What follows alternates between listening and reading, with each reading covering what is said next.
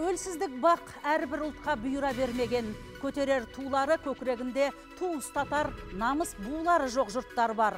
Ұмытпалық тәуелсіздікті әрдайым ұлықталық. Амандықтарыңызды тілеймін. Мерекалды апта жаңалықтарын ұсынамыз. Сіздермен бірге гүлжанат ахметқызы топтама тоғытері алтын сапа 2020 байқауының нәтижесі шықты. Алматы облысының үш кәсіпорны жеңімпаз танылды. Еріктілер жылы жабылды. Ел бойынша 100 мыңнан аса волонтер 1 миллион адамға жәрдемдесіпті. Қайырымдылық жүректе жетісулық сегіз азамат асыл жүрек номинациясының жеңімпазы танылды. Тәуелсіздік күніне тарту. Мереке алды кезеңде аймақта перзентхана мектеп екі жатақхана мен ойын алаңдарын шығаратын цех ашылды. Кеңескен іс келелі болады. Амандық баталов талдықорған қаласын дамыту жоспарын қарады. Шығармашылықтары шырқау биікке самғатты самғау 2020 байқауының жүлдегерлері жарияланды. Қалғып бара жатқан қазақтың рухын оятты. Желтоқсан көтерілісіне 34 жыл. Есімі ұмытылмайды. Журналистер үйінде бейсен құранбектің мұражай мүйісі ашылды. Қарекет түбі берекет қарекет қоғамдық қоры талдықорғандық жалғыз басты анаға баспана сыйлады.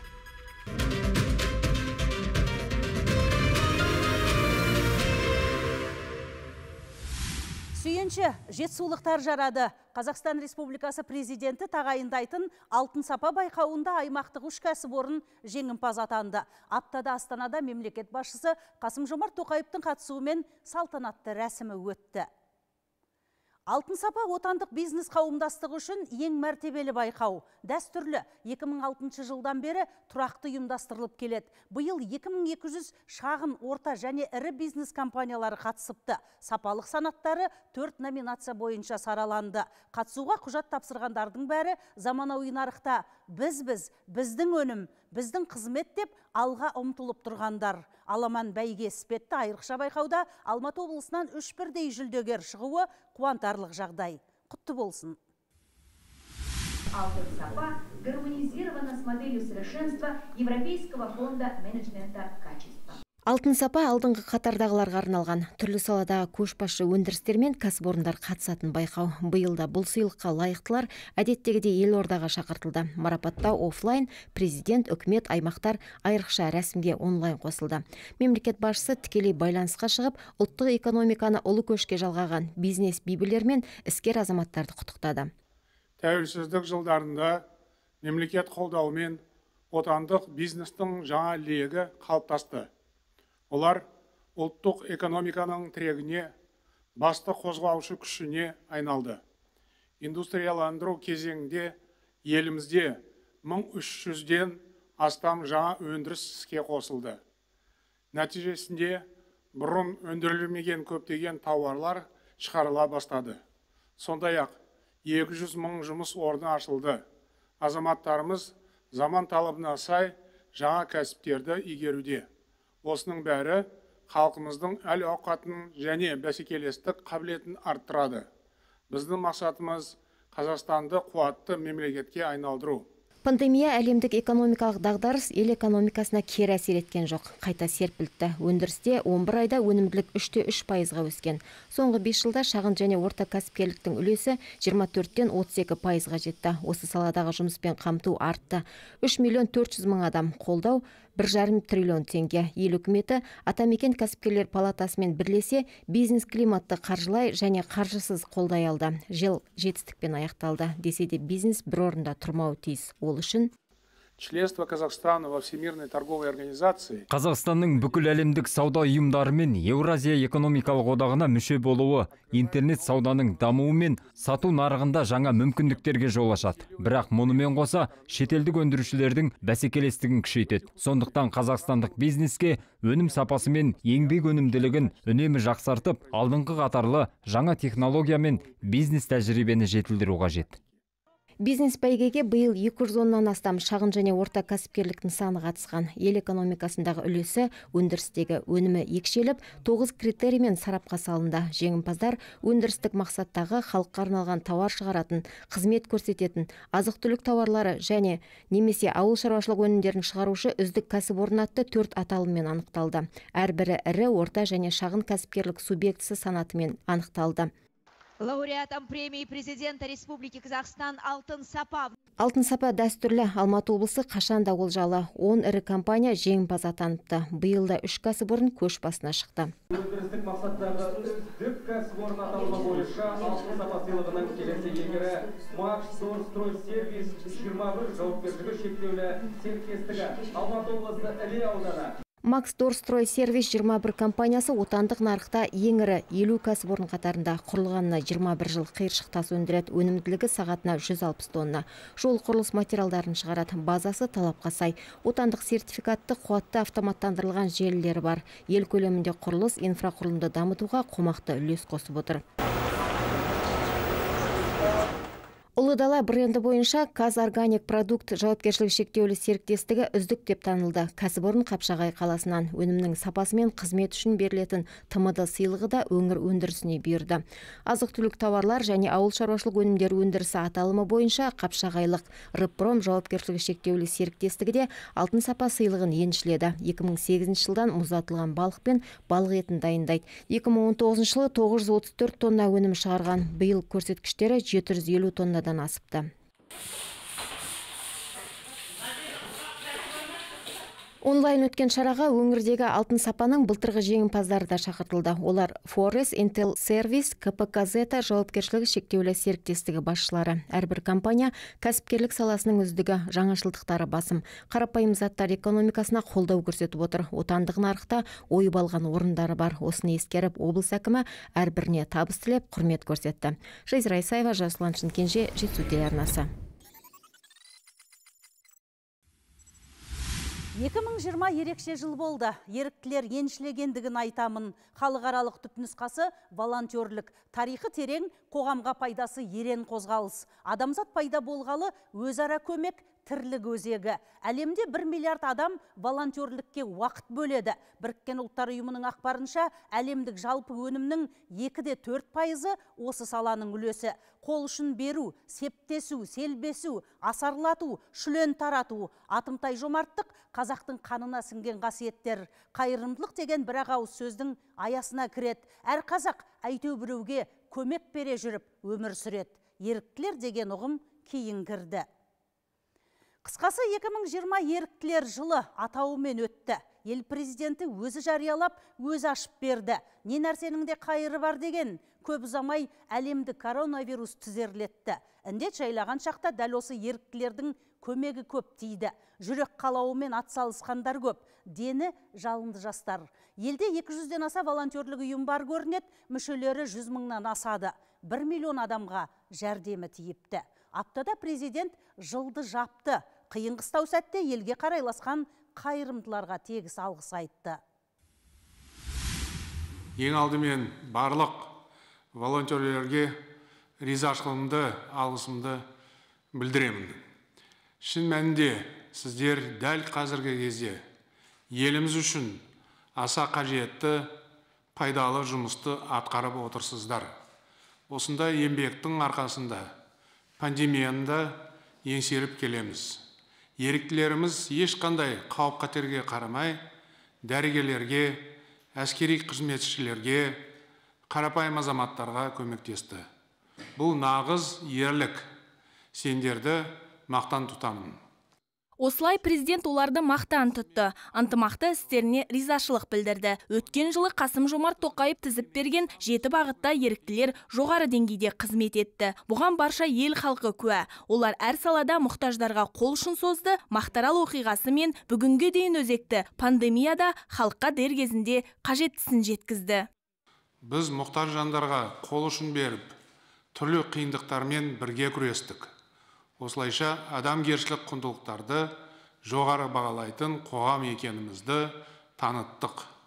Әлемді жайлаған індет қайырым мен мейірімнің қаншалықты маңызды екенін анық көрсетті.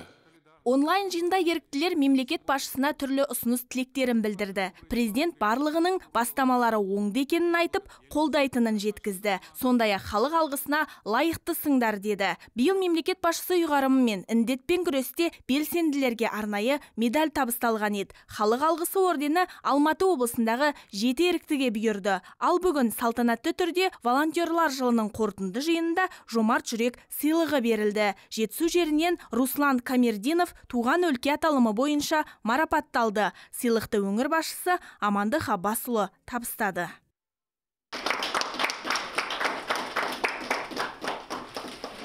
Өңір басшысы еріктілермен жиынды жалғастырды. Құттықтап алдағы істеріне сәттілік тіледі. Облыстық жастар саясаты басқармасының басшысына жергілікті еріктілер ұйымының жұмысын ілгерілетуді тапсырды. Если надо офис определите, где они могут собираться. Қажет болса еріктілердің жеке фронт офисін қарастырыңдар. Бізде жастар орталығы бар. Сол жерден арнайы оларға кабинет беріңдер. Техникалық қажеттілікпен қамтамасыз етіп жағдай жасаңыздар. Транспорт мәселесі де назарда болсын.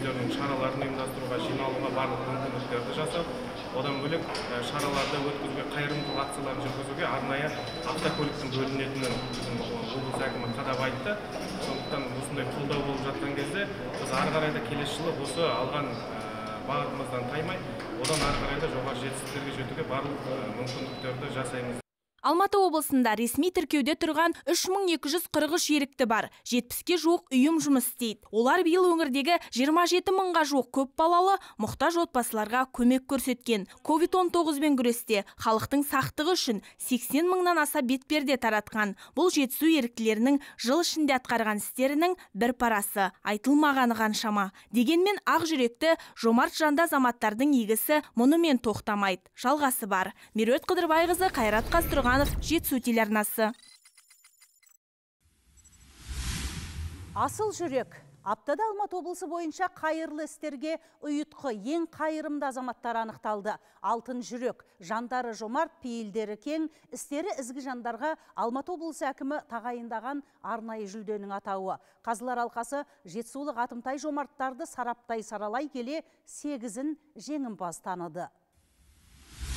Мұқтаж жандарға қол ұшын беру шариғатта үлкен сауап. Пендешілік тілмен айтқанда жұртшылықты ризашылыққа бөлейтін игі іс.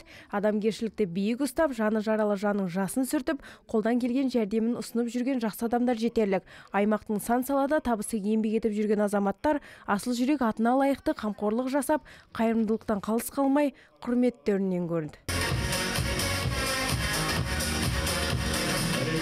Үміткерлер қатарында талдықорған өңірі бойынша қарекет қайырымдылық қорының еріктісі амангелді толамисов бар. Ұйым басшысы мың теңгеге баспана қоры аясында үш жыл ішінде облыстағы отызға жуық отбасыны баспанамен қамтамасыз етті. Жоқ жітіктің жанынан табылып баспанаға зәру жандарға қуаныш сыйлай білді. Қарекет мүшелері салтанатты шарада да тосылып қалмады. Ұйым құрылтайшысы майдияр серікбаев талдықорғандық бес қыздың анасы алтынай наурызбековаға төрт бөлмелі үйдің кілтін табыстады. Қарекет қайырымдылық қоры арқылы осы мен баспаналы болып жатырмын. Бес балам бар. Күйеуім тағдырдың несімен қайтыс болған. Өте қуаныштымын толқып тұрмын шыны керек. Халқыма рахмет айтамын. Асыл жүрек еріктілерге берілетін облыс әкімінің алғашқы сыйлығы әлеуметтік еріктілер ғана емес құтқару жұмыстарына яғни қоршаған ортаны және жануарларды қорғауға белсенді қатысқан жандар да бар. Жалпы жеңімпаздар сегіз аталым бойынша наградталды. Асыл жүрек байқауына қатысып отырғаныма өте қуаныштымын. Өйткені осындай қиын кезеңде пандемия кезінде күн демей түн демей жұмыс істеп жедел жәрдем қызмет көрсетіп отырғанымызға өйткенімізге өте ризамын. Өйткені бұл жалғыз менің ғана еңбегім емес өйткені бұл бүкіл алматы облысының жедел жәрдем және коллективінің еңбегі деп санаймын. Негізінде іріктеулерді біз жыл бойы еріктілерді бақыладық көрдік. Одан кейін бір ай бұрын әлеуметтік желілерге өтінімдерді қабылдау үшін ресми түрде жарияланымдар салдық. Сол жарияланымның арқасында жүзден астам еріктілердің өтінімдері қабылданды. Тек қана талдықорған қаласы емес барлық алматы облысының еріктілері оның ішінде жаңағындай он жеті аудан үш қаладан да өтінімдер берілді. Жалпы аталмыш шараны достық үйі қоғамдық келісім орталығы рухани жаңғыру жобалық кеңсесімен бірлесіп ұйымдастырды. Байқау аясында жетісу өңірінің барлық аудан қаладан келген ең белсенді жігерлі және жанашыр еріктілерден елуге жуық ұсыныс түскен. Оның тек сегізі сегіз бағыт бойынша дипломдар мен ақшалай сыйлықтарға ие болды. Елдана серікбайқызы ержан дүйсен жетісу телеарнасы талдықорған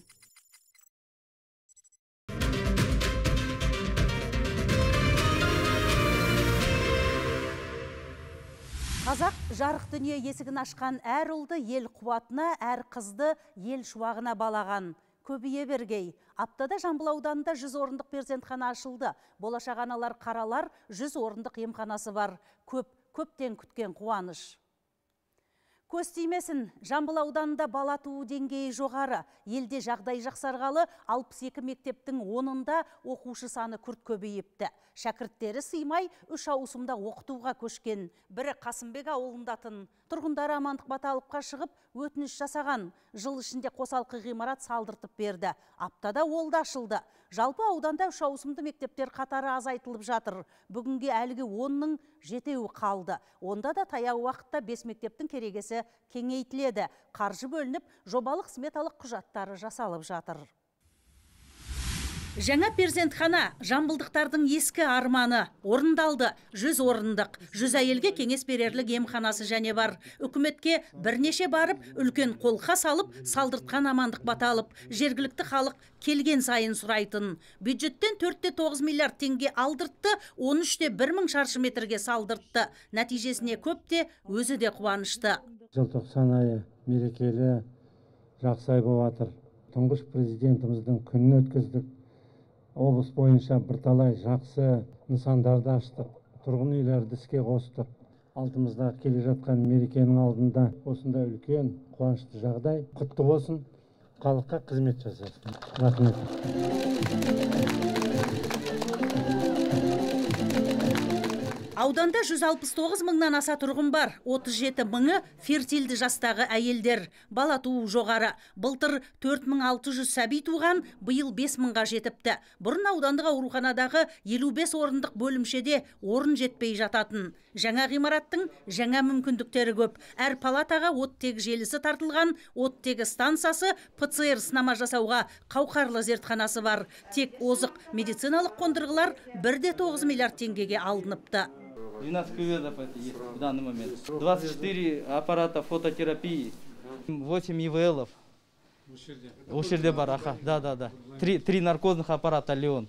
Все очень хорошего качества, Дания, Дания производства. УЗИ аппарат это портативный, да. Э, Для реанимационных мероприятий, для э, новорожденных это вот кенгуру. Ұжымда жасара түскен екі есеге өсіпті. 119 маман. Жалпы облыста кадр мәселесі жіті бақылауда. Соңғы үш жылда аймаққа 472 жас дәрігер келіпті. Жас маман ретінде барлық жағдайымызды жасап беріп жатыр, рахмет. Ә, Жалақымыз да жақсы. Осындай жаңадан жұмысқа келіп, жас маман ретінде осындай үлкен роддомда мен жұмыс істеп жатқаныма шыны керек қуаныштымын. тағы ә, мамандарды шақырсаңдар давай үй салып берейін жақсы ма жер бөліңдер үй салып беріп бәрін не сондай жағдайлардың бәрін жасап береді. Енді анау күні қиын кезде пандемияның кезінде бәріміз түсіндік қой қандай сіздердің керектеріңізді. И алдыңғы қатарда қиын кезде бәрін отбасыларыңыз бала шағаларыңыз семьяларыңызды бәрін тастап осы жерде күні түні жүрдіңдер. Вот, сол үшін сіздерге барлық жағдай жасаймыз көмектесеміз. Жақсы ма? Иә дұрыс. Халыққа қызмет жасаңдар. Жетісуда демографиялық өсім жоғары, жылына 50 мың сәби туады, мектеп орны 20 мыңға ұлғаяды. Мәселен, Қасымбек орта мектебі 520 орындық еді. 1260 оқушы 3 маусым кезектесіп оқып келді. Әкім естігелі екінші жыл 300 орындық жаңа ғимарат салдыртып берді. құрметті амандық абасұлы осыдан екі жыл бұрын ұзынағаштағы бір үлкен жиналыста мен сізге шығып айтқам біздің қасымбек ауылындағы мына ескі мектепке күрделі жөндеу керек. Және ауылымыздың адам саны көбейгеніне байланысты мектеп керек деп сіз құптап едіңіз. Бүгін соның бәрі іске асты. Мен ә, бақыттымын деп санап отырмын. Соған орайы келіп тура сіздің алдыңызға келіп рахметімді білдіргім келіп отыр. Бүкіл ауылдың азаматтарының жұртшылықтың атынан мың алғыс.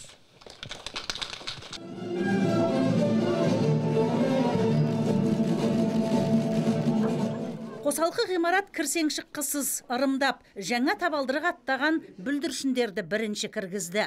Ауыл қамын ойлап жүрген ағалар еңбегімді ұрпақтары бағалар білім алып ер жеткен соң күн ертең өздеріндей туған жерді гүл етем. Ғимаратта 25 оқу кабинеті бар. Тегіс оқу тәрбие құралдарымен безендірілген. Материалдық техникалық базасы талапқа сай. Әкім біраз аралады құрылыс сапасына риза болды. Мен құрметті құрылысшы алматы облысына үлкен үлес қосқан шормақов аманжол мұхамеджанұлының баласымын. Қазір мен әкемнің жолын жалғастырып жүрмін. Бүкіл техникалық бақылау жасап осы мектепке үлес қостық. Елге танымал би групп компаниясы салды. Заманауи материалдар қолданды. Жарық жылы өте сапалы. Мектепте акт зал асхана спорт зал тарлық ететін. Жаңа ғимарат тыныс кеңітті. Әсіресе спорт зал биік кең түрлі жарыстар өткізуге қолайлы. Амандық ғаббасұлы. Мектебімізде ашылған жаңа ғимаратындағы спорт залда өтіп жатқан волейболдың алғашқы ойынын өзіңіз ашып беруіңізді сұраймыз. Хорошее дело. Надо массовый вид спорта развивать его. Ал давай ойнаңдар көрейік на давай. Үш ауысымды мектептерді кеңейту президент пәрмені аясында әкімдік алдағы жылы алматы аймағында тағы да мың жарым орындық алты мектеп салдыртпақ. Игілігін бұйыртса ел көреді. Гүлжанат мақұлжанова жасұлан шілгенже жетісу телеарнасы. Тәуелсіздік күніне тарту аптада Талдықорғанда екі бірдей жатақхана қолданысқа берілді. 500-ге жуық студент жасқа арналған. Бірі жоғары медицина колледжінікі, екіншісі политехникалық колледжге тиесілі. Қос нысан елбасының бес әлеуметтік бастамасы аясында салынды. Талдықорған студенттер үшін қалаулы қала, тартымдылығы, тазалығы өз алдына. Жастардың қаласы, жатақханалары да көп. Жаңа оқу жылында студенттер қалашығы ашылғаны мәлім. Әйгілі Казгуградтың Талдықорғандық нұсқасы. Ілияс Жансүгіров атындағы Жетісу мемлекеттік университетіне қарасты кешенде де 288 орын бар. Жастар қуанып жатыр. Бұл жаңа нысан Талдықорған жоғары медициналық колледжінің жатақханасы 280 орындық 5 қабатты. Аумағы 5990 шаршы метр болады. Іргетасы биыл наурызда қаланған қысқа мерзімде құрылысы бітіп, тәуелсіздік мерекесі қарсаңында студенттер игілігіне берілді.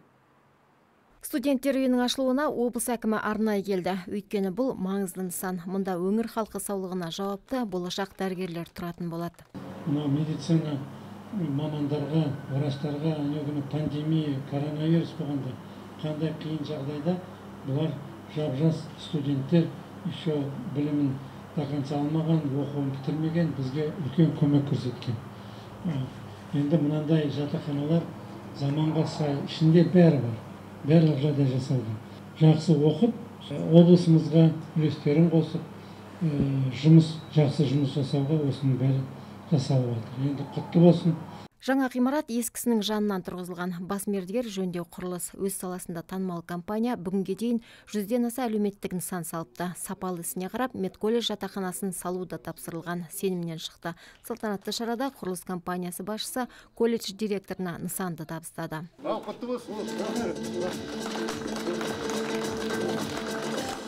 Из старейших учебных заведений бұл алматы облысындағы тарихи оқу орнының бірі. Биыл 85 жыл толады.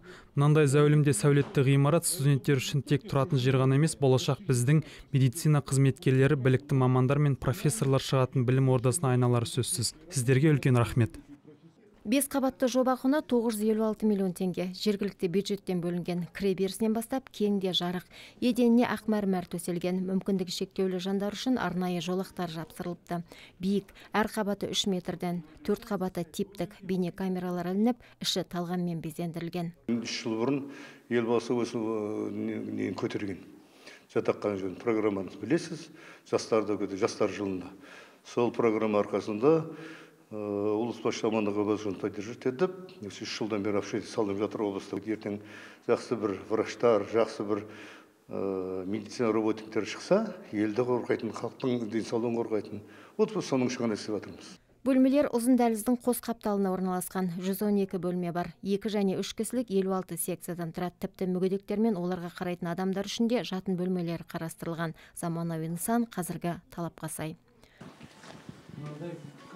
Каждой комнате бұл студенттер үйінің алдыңғы жатақханадан ерекшелігі бұл жерде барлығы бөлек бөлек жасалған яғни бөлек бөлек теледидарлары бар тоңазытқыштары бар газ плиталары бар тіпті өздерінің раковиналары сулары бар және де жуынатын жерлері де бөлек бөлек бізге осындай жағдай жасап беріп отырған кезде яғни біздің міндетіміз мында тек қана сабақ оқу сабағымызды жақсы оқып елімізге адал қызмет етуге міндеттіміз. Студенттер үйінде жастар демалатын бөлме ноутбуктар мен кітапхана бар. Жиырма орындық асхана изолятор мен медпунктте жұмыс істейді. Кір жуатын кептіретін тіпті үтіктейтін бөлмеге дейін қарастырылған.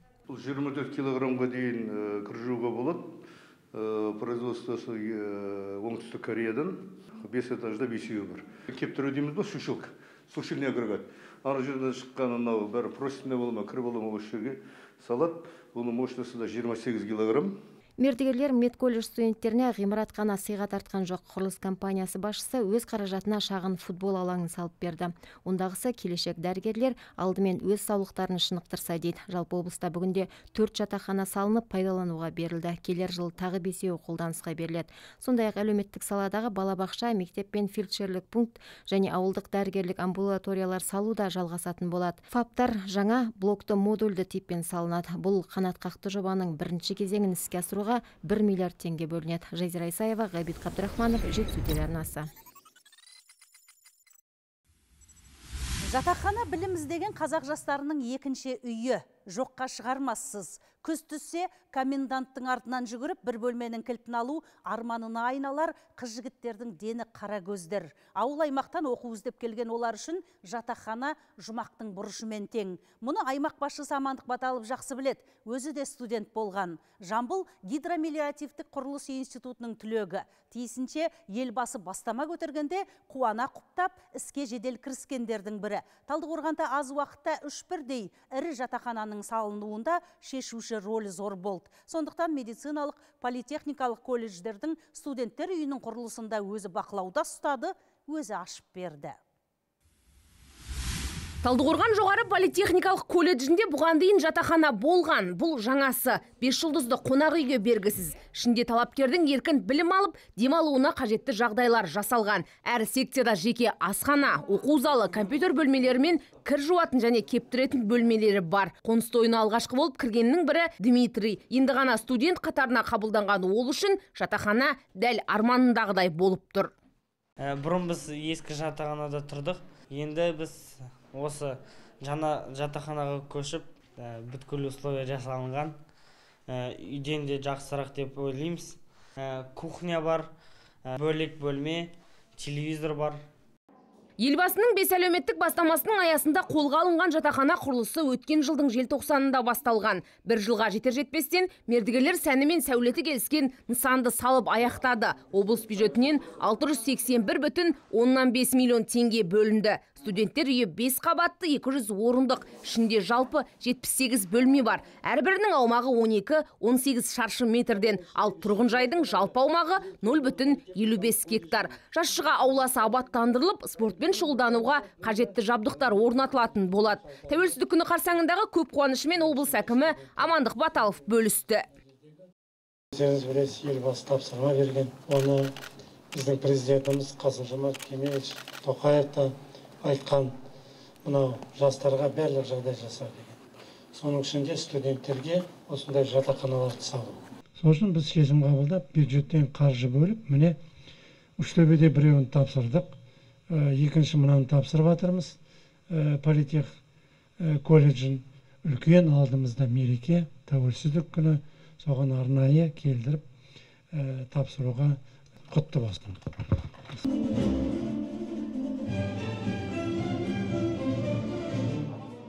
Мұнан соң облыс әкімі жаңа жатақхананың ішін аралап көрді. Мүмкіндіктерімен танысты. Каждой комнате.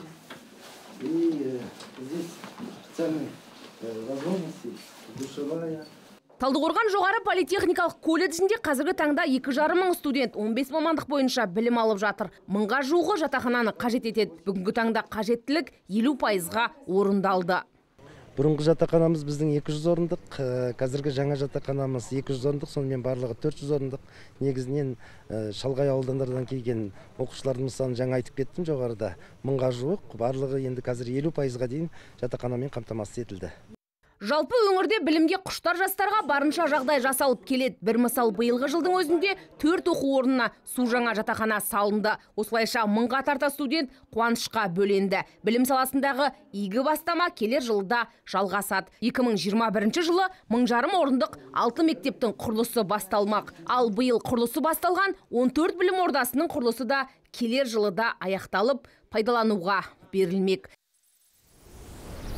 Кәмшат мұхамеджан абзал нүсіп жетісу арнасы талдықорған талдықорғандағы жақсы жаңалық болғана емес аптада балалар үшін ойын алаңдарын құрастыратын цех ашылды. Конструкциялары саналуан тартымды әрі қауіпсіз.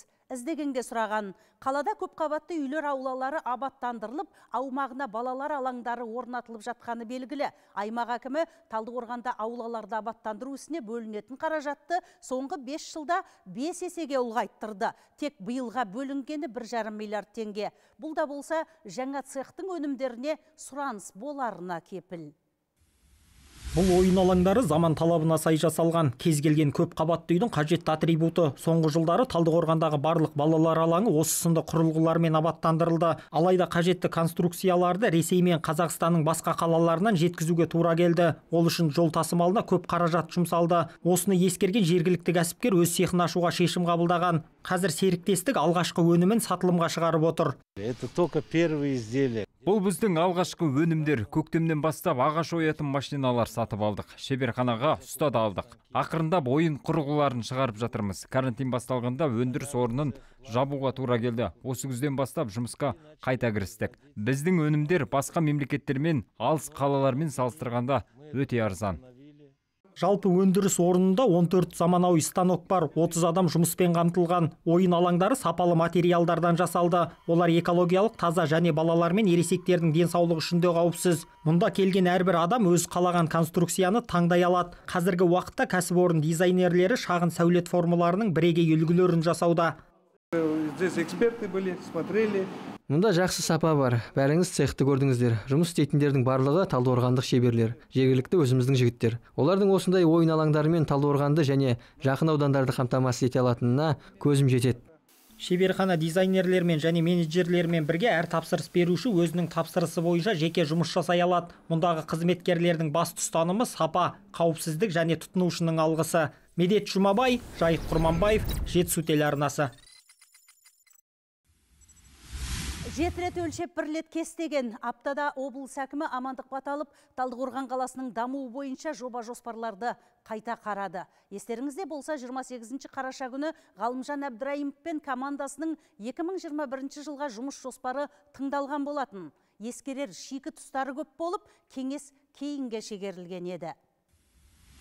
Қайырымен болсын дегені. Әкім талдықорғандықтарды қайыра тыңдады. Өткендегідей емес бұл жолы қала билігі әкім назарына ортақ құны 78-де 4 миллиард теңгеден асатын 144 жоба ұсынды.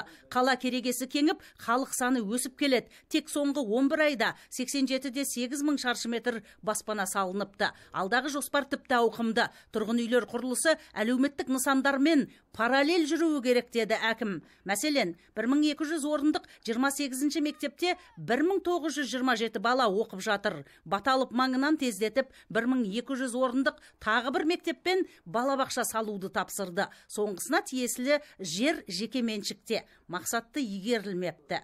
Қайтарылуы тиіс. Детсад тоже протокол пишите. Продумайте быстро. Хорошо и в течение вот до конца декабря мне скажете вот эту землю как выкупить. 2021 жылы 9 шамаудан бой көтереді. Бас аяғы 48 көп қабатты үй. Жобасын 2015 жылы талдықорған архитектура мекемесі жасапты. Былтыр урбастиль компаниясы түзетіпті. Әкімге ұнамады. Қайта қарауға тапсырма берді. Үйлер инженерлік жүйелерді негізге ала салыну керектігін ескертті. Әрі халыққа қолайсыз сығылысып тұр. Бірінің терезесіне бірі сығалай ма деп кейеді Тем более, смотри, 16, 9, 9 этажей. И вот так сплошные коробки вот так будут стоять. И мына расстоянияларын көрдің бе міне? Прямо тік притік. тұрғын үй массивтері бойынша 14 жобалық детальдық жоспар бекітіліпті қауырт өсіп келе жатқаны жастар бір проблемасы да бар 14 үй су жүйесі үстінен салынып кетіпті сауатсыз жоспарлаудың кесірі 14 үйді изъятиеге 490 миллион салып жатырмыз изъятие жасауға Кто дал разрешение на это строительство на водоводе? А? Где эти разрешительные? Все полностью подними давай.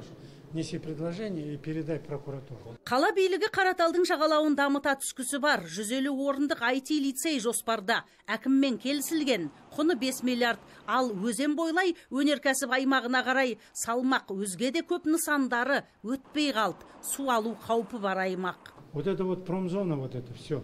Кто вам сказал вот здесь вот строить? Білім саласы да салымды. Жалпы 11 жоба ұсынылды дені құпталды. 2021 жылы э, 11 жоба жүзеге асыруға жоспарланып отыр. Оның ішінде 8 жаңа құрылыс екі мектеп біреу IT лицей біреу жазғы демалыс лагері. Сонымен қатар э, коттедж қала- қалашығында 900 орынды мектепті салу үшін проектно сметный документацияға э, қосымша қаражат сұрап отырмыз. Одан басқа төрт нысанға э, күрделі жөндеу жұмыстарын жүргізу керек. Оның ішінде екеуі орта мектеп номер алтыншы номер сегізінші және де екі балабақша. Қалаға қарасты ауылдар көп. Ынтымақ өтенай өгей бала секілді тін. Амандық баталып өзі аралап сан проблемасын шешкен. Бұл жолы да жарықтандыруды көшелерін жолдарын жөндеуді тағы да бір қаперге салды. Көктемде грязь топырақ шаң. Мына жолдар жасамайсыңдар ма если начали люди закладываем. Бүгінгі кездесуде естіген жағымды жаңалық 2021 жылы бұйыртса облыстық аурухана маңында орналасқан Кивилева көшесіндегі тозығы жеткен мына төрт үй және Патқоз атты бірінші бөлімшедегі апатты үйлер тегіс сүріледі. Олардағы 60 отбасына екінші тұрғын үй нарығынан 60 пәтер сатылып алынады. Бұл мақсатқа қала әкімдігі облыс бюджетінен 782 миллион теңге сұрап отыр. Облыс әкімі мақұлдады. Қуантарлығы бірінші подхоздағы өзге үйлерге блоктық модульдік қазандық салып бермекші. Жылу орталықтандырылады. Мұнан өзге Шевченко Абылайхан көшелері мен Жетісу шағын ауданында да шашылғалы тұрған үйлер бар. Жалпы жаңартуға жататын апатты пәтерлер саны 103. Жоғарыдағы 60-тан өзгесінде жаңарту алдағы жылға жоспарланған. Әкімдік инвесторлар іздеп жатыр. Және бір жаңалық. Қалада бірінші, үшінші қазандық газға ауысқан. Енді екінші мен төртіншісі көгілдір отынға көшет. Маңайдағы тұрғындар күйе мен ыстан құтылатын болды. Вот восток и Базар, возле базара. базар. Это же в центре города. Да. Вот эти два считайте, поняли, да? Тут дальше. Мы по два будем делать, потому что они очень дорогие же. Хорошо. Қала күтіміне қажет коммуналдық техникалардың 90 пайызы тозған. Әкім 38 данасын әперетін болды. Жалпы тыңдалымда түкіш саласы бойынша 48 жоба таныстырылды. Тегіс қолдау тапты. Благоустройствоға үште үш миллиард сұрап тұрмыз ол біріншіден освещение өзіңіздің тапсырмаңыз бойынша анау железобетонный столбыларды ауыстырып орнына темір столбылар қою керек жердің астымен кабельді өткізіп. Коттеджный городок. коттеджный городок. Хорошо. екіншісі арычный сеть әлімжанова сіз білесіз ә, отчетта айтқан халық ана ар жағында дачаларды су алып кете береді. Благоустройство парк жастармен ана жаңадан салынған бассейннің айналасын ә, сносқа кеткен екі объект. Содан кейін жаңағы инфекционный больницаның жаңадан салынған инфекционный больницаны алды бір жарым гектар тағы да благоустройство жалайырдан бастап акл ға дейін жаңағы өзіңіздің замечанияңыз бойынша жасаған проектіміз иә сол жағын қосымша кіргіземіз енді 2021 жыл қаланы дамыта түсер жыл болмақ. Тек автотранспорт инфрақұрылымы саласында 25 нысанда құрылыс монтаж жұмыстары жүреді. 163 көшеде 38 шақырымға жуық жол жөнделеді. Тағысын тағы. Тыңдау талдау 2 сағатқа созылды. Тоғытері, Талдықорғанда жақсы бастамалар көп. Баталыптың қатаң талабы қала билігін ізденуге, ілгерілеуге ұмтылдырғаны анық. Әлде де жұмыстарында жүйелілік жетіспейді деді ол. Ер кезегі үшке деген тыңдауды жаңа жылдан соң тағы өткізетіндігін мәлімдеді. В целом я удовлетворен то, что по ЖКХ попросил четко ясно понятно мына мектеп садиктерінде капремонт и новое строительство которые где новые микрорайоны понятно. А қалған развитие в целом содержание города басқа это абсолютно плохо. Еще после нового года я еще раз посмотрю. Если надо пусть даже мне на facebook народ пишет қай жерде қай көше жасау керек қай жерде су жасау керек қай жерде анау көшенің жарығын жасау дұрыстау керек соның бәрін айтсын я еще пока не поздно көмектесем кіргізем. Гүлжанат мақұлжанова жасұлан шымкенше жетісу телеарнасы.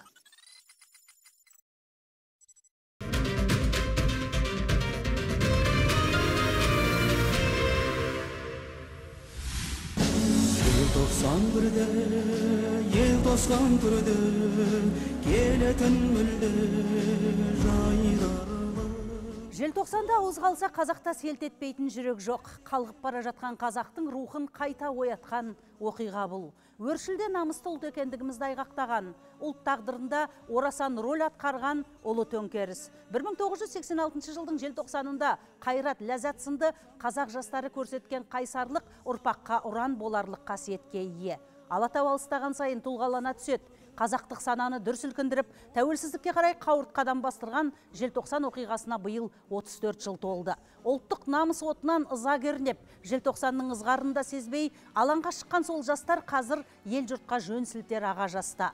Тәуелсіз тірлікке тәу өтіп ортамызда жүр. Жыл сайын желтоқсанда бастарын қосып құрмет қошемет көрсету игі дәстүрге айналған. Аптада өр кеуде рухы жігер жанрлық батыр буынның бір тобын алматы облысының әкімі амандық баталовтың атынан орынбасары рустам әли қабылдады.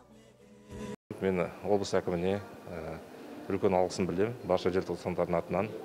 Осындай бізді ұмытпай мынандай қиын жағдайда осындай қиын жағдайға қарамай бізді марапаттап мәртебемізді бір көтеріп жатқанына. Желтоқсандар қоғамдық қоры 32 адамымыз бар құрамымызда. Көптеген жұмыстар атқарылып жатыр. Осы біздің тәуелсіздігімізді асқақтатып өскелең жас ұрпаққа патриоттық тәрбие беру мәселесі бойынша біз көптеген іс шараларды өткізіп жатырмыз. Самғау мерейлерін Самғау биікке шарықтатты. Аптада Алматы облысы әкімі тағайындаған Самғау жүлдесінің жеңімпаздары жария етілді. Дәстүрлі байқау жаңа атау мен жаңа форматта өте бастағанына төртінші жыл. Еліміздің оның ішінде Алматы облысының дамуына ақпараттық үлес қосып жүрген үздік тележурналистер, блогерлер, фототілшілер, операторлар, инженерлер 11 номинация бойынша марапатталды. Қуантарлығы жеңімпаздардың тоғызы біздің жетісу телеарнасының қызметкерлері. Еңбектері жаңған әріптестерімізді шын жүректен құттықтаймыз. биылғы самғау байқауы жетісу телеарнасы үшін табысты болды деп айтуға болады. Ұжымның тоғыз қызметкері жүлделі болды. Оның төртеуі бірінші дәрежелі марапаттар. Бірінші орын. Тоқтасын мұхит. Жетісу телеарнасының веб редакторы. Дәстүрлі байқау самғау биыл да өтті. Төртінші жыл. Мақсаты айқын. Бұқаралық ақпарат құралдарына қолдау. Көкейтесті тақырыпты көтеріп аймақ дамуында ақпараттық үлес қосқандар еңбегін лайықты бағалау. Қолдаушысы облыс әкімі амандық ғаббасұлы жүлдегерлерді әкім орынбасары рустам әлиұлы марапаттады. Сондай ақ жақсы жаңалықпен де бөлісті. Білесіздер амандық ғаббасұлы облыс басшылығы жалпы бақ саласына журналистикаға әріптестерімізге өте үлкен қолдау білдіреді. Самғау премиясын бастаған кезде жалпы мен үлкен қолдау көрсеткен бейсен ағам.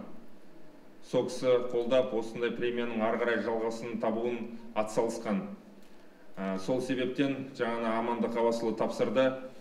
Биыл 11 номинация болса келесі жылы құдай қаласа 12 номинация болады. 12 номинация.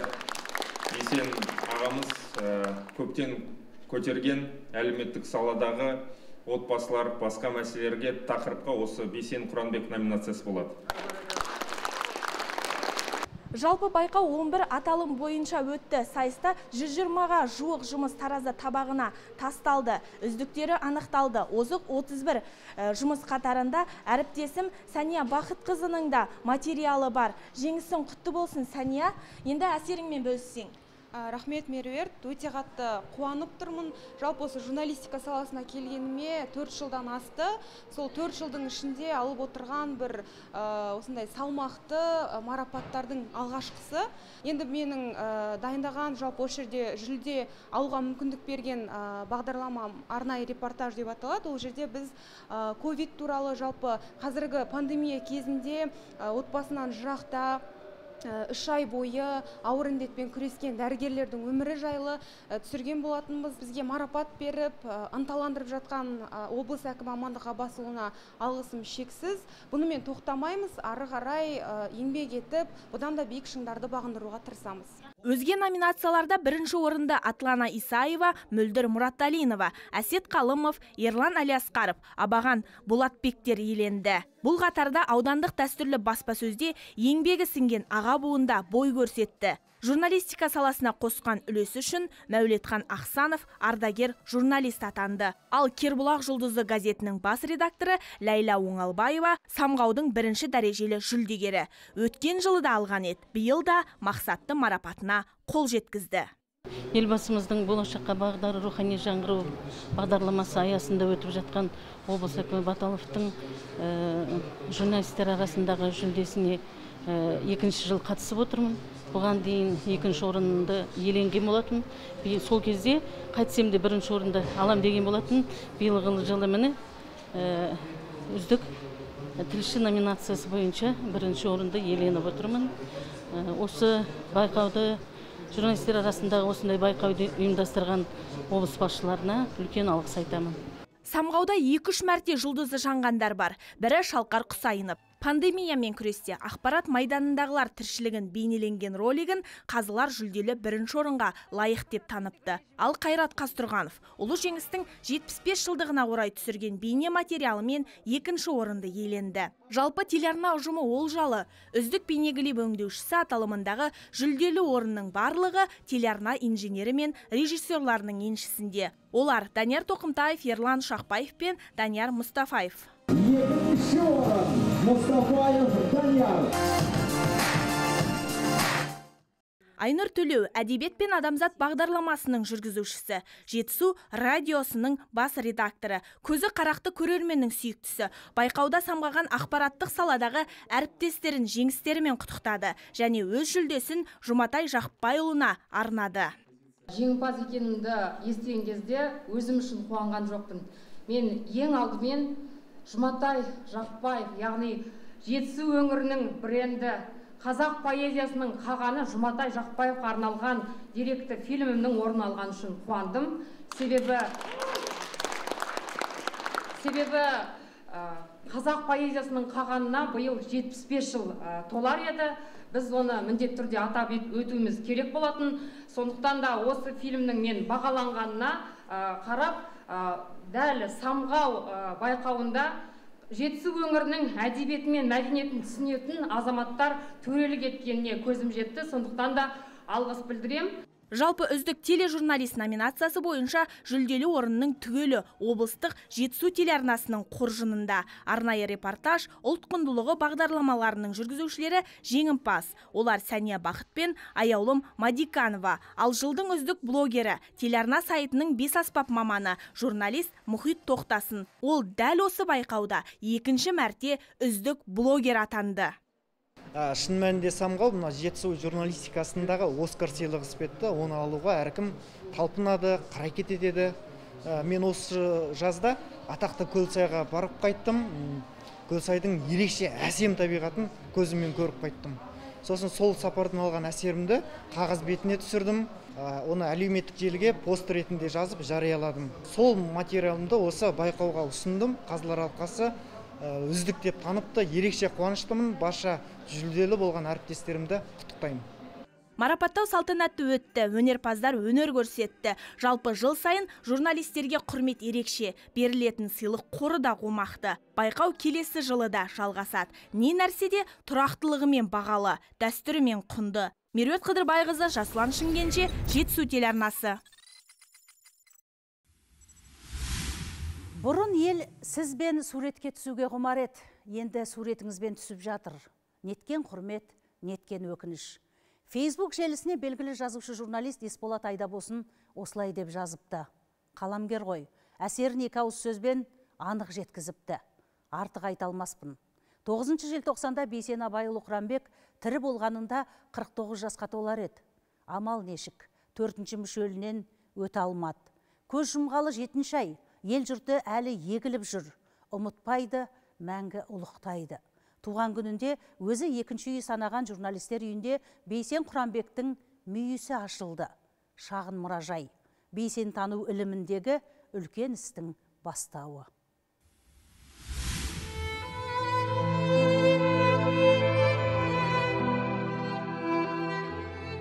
Жақсы еді жақсы еді ғой шын жақсы еді. Бармысың батырым деп тіл қатса өңі. Төрдегі бейнеге қараған әрбірі бүгін іштей осылай үн қатты. Ағаға деген сағыныш көңілдегі шер қимастық жеті ай өтсе де әлі сол қалпы. Арада жоқ екеніне ешкім сене де сенгісі де келмейді. Құдды осы маңда жүрген сияқты дейді көп. Ал бүгін ел болып еске алады. Түсінгенге бұл әсте ауыр. Жалын атып жүріп көз алдымызда жанып кетті. Көз алдымызда ақсұңқар болып мәңгілік сапарына аттанғанға дейін кезеңнің өз басым куәгерімін бейсен ең алдымен басқаларға бақыт сыйлауға ұмтылған азамат әу бастан иә ол өзгенің қамын бірінші орынға қоя білді. Телеарна арқылы елдің жоғын жоқтап мұңын мұңдады. Талай жанға пана болды. Өз кәсібіне адалдығы соншалық тележурналистиканың ауыр жүгіне арқасын тосты. Жеңілдің үстімен жүрмеді осылайша көзі тірісінде абайұлы шарапатын күллі қазаққа көрсетті. Енді сол дүйім жұрты егіле еске алып мұражайымен ғана тілдеспек.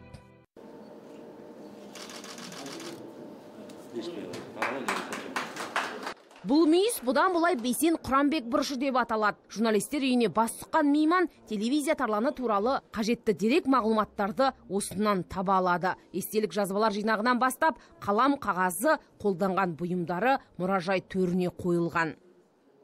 Мұражай бұрыш ашып үлкен олимпиада ұйымдастырып жатқан осы халқымызға жетісу жұртына алматы облысы білім басқармасына жетісу телеарнасына ел ағаларына осы алқалаған әлеуметке әулетіміздің атымыздан отбасымыздың атынан үлкен алғысымызды ризашылығымызды білдіремін. Мұражай жетісу телеарнасы ғимаратынан ашылды. Өйткені бейсен құранбек үшін облыстық арнаның орны бөлек еді. Екі қайтара басқарды екі ретте де арнаның жұлдызын жарқыратты. Аймақ айнасына айналдыруға барын салды. Алдымен материалдық техникалық базасын жаңартып ескісін бүтіндеп жаңалады. Баспын демеді жассың демеді. Ұжымдағы әрбірін туыс дос бауырындай көрді. Ағалық қамқорлық көрсетті. Тағзым орнының ашылуына ұйытқы болғанда дәл осы төл арнасы. Досың туралы өткен шақта сөйлегеннен қиын дүние жоқ екен. Бірақ бейсекеңнің шырағы сөнген жоқ. Жетісу жұрты ардылын ардақтап ақ жатыр. Әруағы разы болсын. Бейсекеңді қадірлейтін құрметтейтін қалың қазақ осы жерге келіп бір сәт болса да есін алып тағзым етіп жүрсін деп сол ниетпен ашып отырмыз. Бейсен құранбек атындағы облыстық олимпиада қорытындысы да туған күнінде шығарылды. Білім бәсекесінің жеңімпаздары мұражайдың салтанатты ашылуынан соң марапатталды додада 16 ұстаз бен 19 оқушы бақ сынаған. Байқауда олар ұлттың ұлы жайлы шығарма шағын бейнеролик әзірлеген. Тілшілік тіршілігін азаматтық болмысын дара тұлғасын әрбірі өзінше жеткізуге тырысып бақты. Дауысың тыңдағанға ұнам деді әрісің қарекетің құнарлы еді.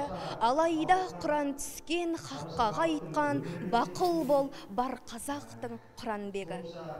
Олимпиада мұғалімдер арасында үш оқушылар арасында екі кезеңмен өтті. Қатысушылар жарқ еткен жасын ғұмыр аталымында эссе жазып сөз байлықтарын көрсетсе тұлғадан жеткен дара сөзде бейсен ағаның тағылымды сөздерін терді. Ай бойғы ізденіс еңбектерін қазылар бағалап тиісті орындарын үлестірді. Ол бойынша мектеп оқушылары арасында кербұлақтық алуа байтілеуова топ жарса ұстаздар қатысқан сайыста текелілік жанзила исаева бас бәйгені қанжығалады.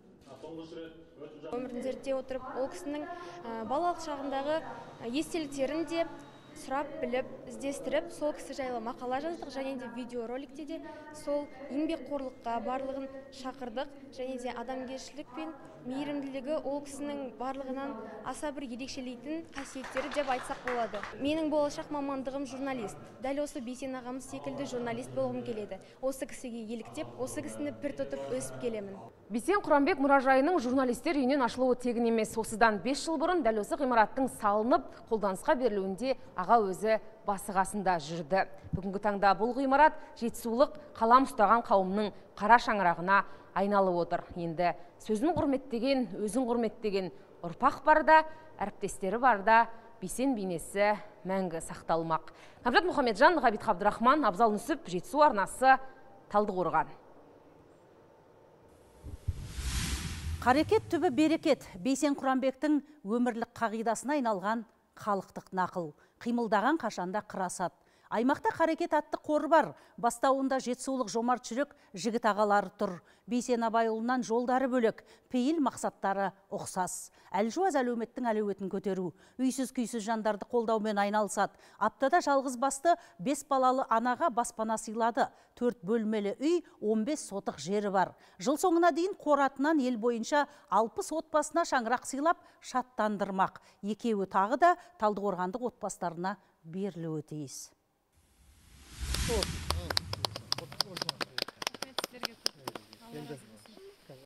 Алтынай түктібаева 31 жаста. Бес баласы бар. Шиеттей шақтарында әкелері тастап кеткен. Қалада қарайласар жан жоқ. Анасымен туған бауыры ауылда. Бос қалған біреудің үйін паналап отыр. Жалғызбасты жас ана 2011 жылдан бері пәтер жалдап тұрды. Балаларына берілетін әлеуметтік төлемдерге күн көріп келген. Оның өзі ай сайын ішіп жемнен артылмайтын көрінеді. Бұйыртып жеке шаңыраққа ие болды. Дача ашшыбақта тұрамын дача ашшыбақтан қатынау қиын қалаға автобус уақытымен жүреді. Уақытынан қалқасаң болды одан кейін шыға алмайсың мына жерге қаланың орталығы ары бері жүрсе де мына жерде кішкене автобус та бар көлік те бар. Сол осы қарекет ұйымына рахмет айтамын. Үй кезегіне тұрдым мың бәленбайыншы очередьте тұрдым әлі. Жылжыған жоқ очередім. Очередім әлі жылжу үшін әлі. Қанша жыл болды екі жыл болды тұрғаныма. Көп балалы ананың үлкені үшінші сынып оқыса кішісі бір жарым жаста. Бала болса да үйлі болғанын сезініп қуанып жүр. Несібелері ғой ескелді ауданынан жақсы үй бұйырыпты. Бақша егіп құс өсіргенге қолайлы қажеттінің бәрі бар. Бүлдіршіндер де риза үй ұнады дейді. Ұнады үйлеріңіз рахмет. Үйде не көрдің гүл гүл бәрін көрдім күшті. Маған бәр жер ұнады салют гараж бәрі ұнады. Моншасы ұнады ас бөлмесі бәрі ұнады. Сіздерге рахмет. Харекет қоры әлеуметтік жағдайы төмен жандардың отбасы мүшелерінің санына, денсаулығына, өзінің қалауына қарай үй алып береді. Ал бұл республика бойынша осындай мұқтаж отбасыларына табысталып отырған 367 баспана. Талдықорған өңірінде берілген 25 үй. Ай соңына дейін тағы екі отбасы осындай қуанышқа кенелмек. Түктібаева Алтынайды біз Сәуле Аманбаева қаланың әкім орынбасары осындай отбасы бар сонау алыста қаланың қалаға шал алыс жерде тұрып жатыр. Бес баланың анасы жалғыз өзі жағдай өте қиын. Соны көріңіздерші деп содан кейін барып еріктілеріміздің ішінен жайық бауырымыз барып жағдайын көріп үйімен танысып видеоға түсіріп сол видеоны біз қарекет қайырымдылық қорының басшылығына жіберіп міне екі айдың көлемінде осы мұқтаж отбасыға міне қарабұлақ аудан орталығынан үй алып бердік. Еріктілер әр азаматты қор салымшысы болуға шақырады. Мың теңге салып қайырымдылық жасап бір жанның үйлі болуына септігін тигізсе дейді. Алмат хамит нәдір хамзин жетісу арнасы. Естідіңіздер ме Талдықорғанда жетісу жер жанатты атты байқау өтті. Ұйытқысы қоғамдық келісім орталығы Алматы облысында өтіп тұрғаны алғаш мақсаты заманауи елге пайдасы тер стартап идеяларды анықтау, жол ашу қолдау. Аудан қалалардан озық ойлы іскер ұсынысты 85 жас қатысыпты. Дені ауылдан. Қазылар алқасы онының жоба жоспарларын салмақты деп таныпты. Әрбірі 500 мың теңгеден арнайы гранттар жеңіп алды. Қанаттанып қайтты, ел кәдесіне жаратамыз деп жұлқынып ақ тұр. Бұл байқау жеңімпаздары ауыл әлеуетін көтеруге атсалысқысы келетін азаматтарға құрмет ерекше. Ұйымдастырушылар жүлдегерлерді Голливуд жұлдыздары сияқты қарсы алып, олар үшін қызыл кілем төседі. Салтанатты жиынға келгендердің мақсаты бір – отандық өнімдерді көбейту. Өңірдегі шалғай жатқан өлкелер қажеттілігін қанағаттандыратын кәсіп ашу. Байқау жартына сай ұсынылған 85 жобаның оны үздік деп танылды. Әрқайсысы 500 мың теңге ұтты. Енді жас кәсіпкерлер іске кіріспек. Мен алдаберген ауылынан боламын. Мен осы жоба арқылы өз ауылымда дәнекерлеу шеберханамды ашайын деп жатырмын. Бұл шеберхананың ауылға тигізетін пайдасы өте көп. Қаншама техникалар бар қаншама жастар бар. Сол жастарға мен өзімнің спорттық бұйымдарымды содан кейін мына ворот навес мысалы қаншама дәнекерлеу істерін мен өзім осы жоба арқылы іске асырайын деп жатырмын. Тұңғыш рет ұйымдастырылған байқауда өз ісін дамыту үшін қатысқандар да бар. Грант ұтқан олар енді кәсіптерін одан әрі ілгерілетпек. Жалпы байқауда үздіктерді анықтау қиынға соқты дейді қазылар алқасы. Өте қызықты бизнес жобалары көп. Бірі спорттық құрылғылар шығаруды қолға алса, екіншісі жиһаз құрау, есік терезе орнату сынды қажетті қызметтерді кәсіп еткен. Ұйымдастырушылар бұл жоба жоспарланған кәсіптерін іске асыруға таптырмас мүмкіндік екенін айтады. организовано за счет спонсорских... Байқау облыс әкімдігі мен жетісудың атындай жомарт азаматтардың қолдауымен жүзеге асты. Барлығына алғысым шексіз. Біз мұнда аудандағы ауыл мен өзге ұлт жастарын қамтуға тырыстық. Жеңімпаздар болашақта өңіріміздің дамуына сүбелі үлес қосады деп ойлаймын. Кәсіп ашқан азамат өзіне табыс әкеліп қана қоймай, басқаларды жұмыспен қамтуға септеспек. Аталған жобаның маңыздылығы осында. Салтанатты жиын соңы концерттік бағдарламаға ұласты. Жанды дауыста ән салған әншілер кешті қыздырды.